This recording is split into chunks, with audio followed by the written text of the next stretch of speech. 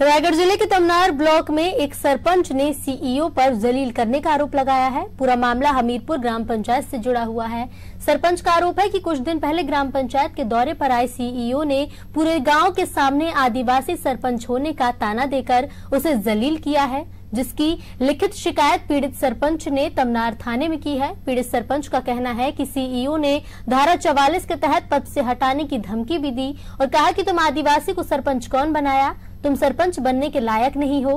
पीड़ित ने अपनी शिकायत में उस पर हुए अत्याचार के खिलाफ कार्यवाही करने की गुहार लगाई है। हमीरपुर के ग्राम पंचायत में कल सीईओ जनपद पंचायत करनार का दौरा था। तो कल हमारे सरपंच ग्राम पंचायत महोदय जी को ग्राम पंचायत भवन के पास बुलाया गया और उसमें उनके द्वारा कहा गया, वर्मी कंपोस्ट में खाद डालने के लिए कहा गया। हमारे सरपंच द्वारा कहा गया कि अभी सचिव संघ का हड़ताल में है। तो सीओ सर के द्वारा कहा गया कि आप गोबर डालिए, मैं आपको बोल रहा हूँ। तो इन्होंने लिखित में आदेश मांगा। तो लिखित में आदेश मांगने पर उन्होंने कहा कि मैं बाद में दे तो सरपंच महोदय जी द्वारा कहा गया कि जब तक लिखित में आदेश न हो, नहीं मिलेगा, तब तक मैं गोबर नहीं डालू। ये कहने पर वो शायद भड़क गए और सरपंच को आदिवासी होने का गाली गलौज करते हुए उनके ऊपर धारा 40 के तहत को बर्खास्त करने का बात की। ग्राम पंचायत हमीरपुर के सरपंच के द्वारा दिनांक आठ दो हज़ार इक्कीस को एक लिखित आवेदन पत्र दिया गया, जिसमें सीओ जनपद पंचायत के द्वारा ग्राम हमीरपुर में